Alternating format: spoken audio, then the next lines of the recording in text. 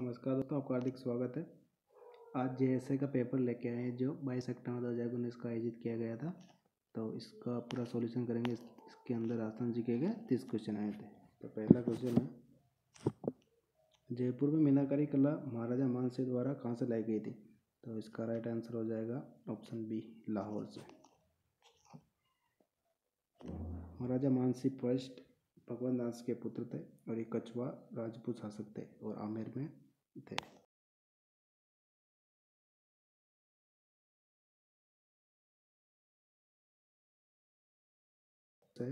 जी का खड़नाल से और गोगा जी का भी ददरेवा से इसका राइट आंसर हो जाएगा ऑप्शन सी मदननाथ जी घाघरों ये गलत है इसमें से क्वेश्चन नंबर थ्री जोधपुर का मेहरानगढ़ दुर्ग किस पहाड़ी पर स्थित है? तो इसका राइट आंसर हो जाएगा चिड़िया टुक पहाड़ी option C right question number हो जाएगा राजा मानसी ऑप्शन बी मानसी की ये मनसक में कमी कर दी थी। Question number five. निम्नलिखित में से कौन सा काल अजयराज सेकंड से संबंधित है? तो इसका राइट आंसर हो जाएगा option C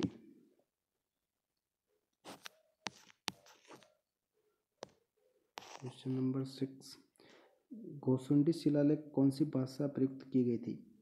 तो गोसुंडी शिलालेख में संस्कृत भाषा में लिखा हुआ है, ऑप्शन सी। ज़्यादातर शिलालेखों में संस्कृत भाषा का ही यूज़ किया जाता था। Question number seven. निम्नलिखित में किस महिला को राज्य चुनाव विभाग की ब्रांड अम्बेसडर दो हज़ार बारह में नियुक्त किया गया था? बहुत अच्छा क्वेश्चन है। तो इसका राइट आंसर हो जाएगा।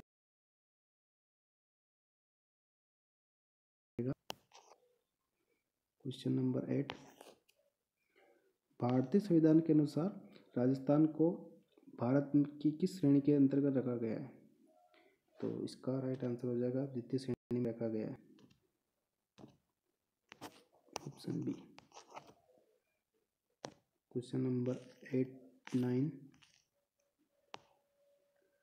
राज्य में राजनीतिक गतिविधियों के संचालन हेतु राज्य में 1934 में प्रजामंडल की स्थापना की गई थी। तो कौन सा Prajamandal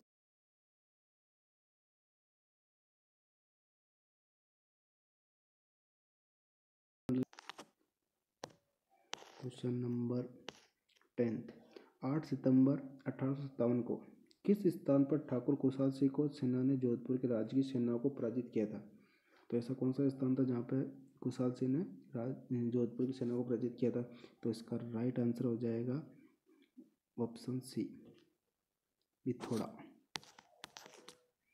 question number eleven Mewar के किस महाराणा ने अजमेर दरगाह के लिए चार गाँव अनुदान में दिए थे? तो मेवाड़ का कौन सा शासक था? तो मेवाड़ के जो उन्होंने अपने अजमेर दरगाह के लिए गाँव को अनुदान में दिया था। तो इसका राइट आंसर हो जाएगा option D Jagat Singh second. Question number twelfth निम्नलिखित में से कौन सी जोड़ी सही नहीं है? तो मारवाड़ उत्सव जोधपुर, बिल्कुल राइट है ये। ये भी सही है। ऊट महोत्सव बीकानेर, ये भी सही है। हाथी महोत्सव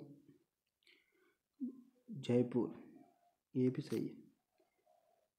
ब्रिज महोत्सव धौलपुर, ये गलत है इसमें तो ये ऑप्शन डी राइट हो जाएगा। क्वेश्चन नंबर थर्टीन राजस्थान के त्यौहार की शुरुआत स्वर्ण तीज से होती है। तो अंत कौन से त्यौहार से होता है? तो इसका राइट आंसर हो जाएगा ऑप्शन डी गणगौर से समाप्त होता है। क्वेश्चन नंबर फोर्टीन भम रसिया कौन से क्षेत्र का एक लोक प्रसिद्ध नृत्य है? तो इसका राइट आंसर हो जाएगा अलवर और भरतपुर। डी ऑप्शन राइट हो जाएगा। क्वेश्चन नंबर फिफ्टीन, डूंगरपुर और बांसवाड़ा क्षेत्र में बोली जाने वाली बोलियाँ कौन सी है? तो काफ़ी इजी क्वेश्चन है ये। फागड़ी बोली जाती है इसके अंदर। डूंगरपुर, बांसवाड़ा में फागड़ी बोली बोली जाती है। इसका सी ऑप्शन राइट हो जाएगा।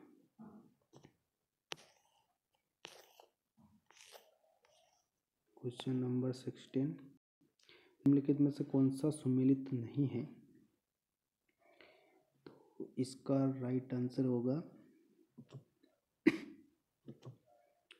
सज्जनगढ़ उदयपुर, बिल्कुल राइट है। रणथंबोर स्वामीपुर ये भी राइट है। सरिस्का, अलवर, बिल्कुल सही है। राम सागर कोटा है। ऑप्शन डी राइट इसमें गलत बताना था अपना। क्वेश्चन नंबर सेवनटीन विश्व पर्यावरण दिवस कब मनाया जाता है? काफ़ी अच्छा क्वेश्चन है। पाँच जून को मनाया जाता है हर साल। Option B right question number eighteen काफ़ी इंपॉर्टेंट क्वेश्चन है। रात में पुलिस में भी आ जाता है।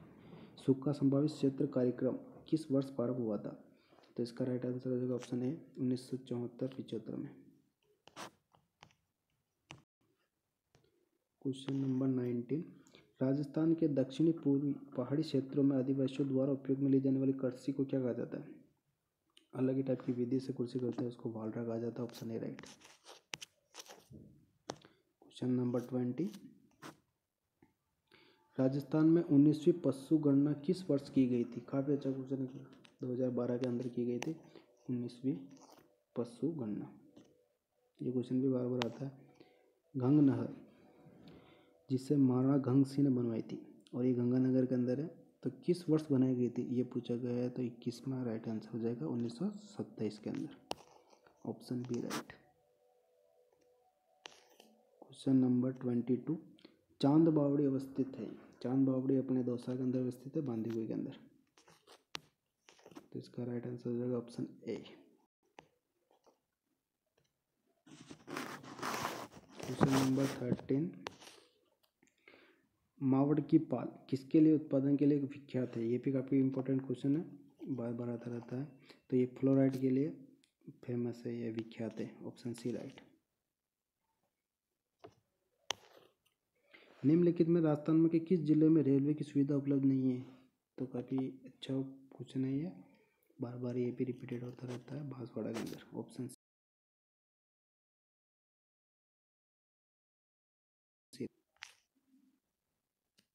राजस्थान राज्य की उत्तर से दक्षिण की लंबाई पूछी गई है तो उत्तर से दक्षिण की लंबाई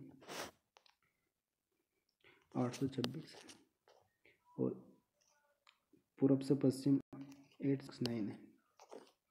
तो ये काफ़ी कंफ्यूज करता है तो कंफ्यूज होने की ज़रूरत नहीं है।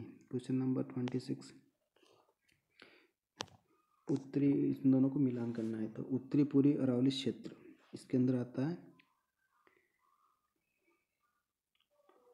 इसका राइट आंसर हो जाएगा, देखो। बोराट क्षेत्र, अपने उदयपुर में आ गया। दक्षिणी अरावली, सिरोही, बिल्कुल सही है। और अरावली का मध्यवर्ती भाग जयपुर बिल्कुल सही है। उत्तरी अरावली क्षेत्र अलवर बिल्कुल राइट उत्तरी पूर्वी अरावली क्षेत्र का ये अलवर इसका राइट आंसर हो जाएगा छब्बीस के अंदर ऑप्शन सी। ऑप्शन सी बिल्कुल राइट है। ट्वेंटी सेवन के अंदर छप्पन के मैदान संबंधित किस नदी से हैं? छप्पन के मैदान, इस right answer option B, Mahi.